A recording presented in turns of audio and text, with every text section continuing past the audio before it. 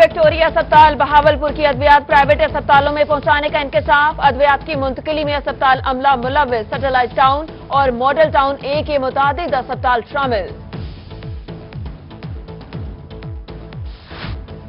Multan development authority land enforcement cell انیکشن سہوڑا چوک اور ملحقہ علاقوں میں کارروائیاں غیر قانونی تعمیرات مسمار۔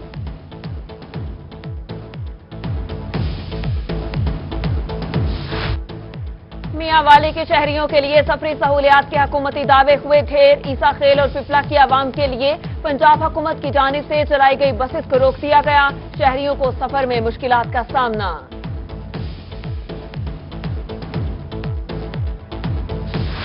Additional I G Punjab high patrolling captain retire Ahmad Latif کا پیٹرولنگ پولیس ملتان ریجن کا دورہ پیٹرولنگ پولیس کے چاکو چوبن دستے کی جانب سے سلامی پیش ایڈیشنل آئی جی کا پولیس دربار کا انعقاد پیٹرولنگ پوسٹ شیر شاہ کا افتتاح بھی کیا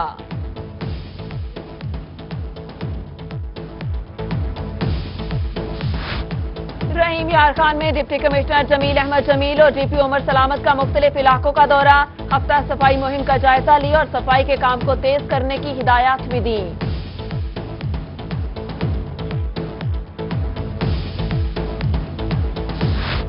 تونسا شریف سائل پروٹیکشن بیورو کی جانب سے ڈگری بوائز کالج تونسا میں سیمینار، آگاہی سیمینار چیئر پرسن سارا احمد نے شرکت کی۔ یوم پاکستان کے حوالے سے government post graduate college Bahari میں تقریب، ڈپٹی ڈائریکٹر کالجز غلام محمد بخاری کی بطور مہمان خصوصی شرکت طلبہ کے ملی نغموں نے سما باندھ دیا۔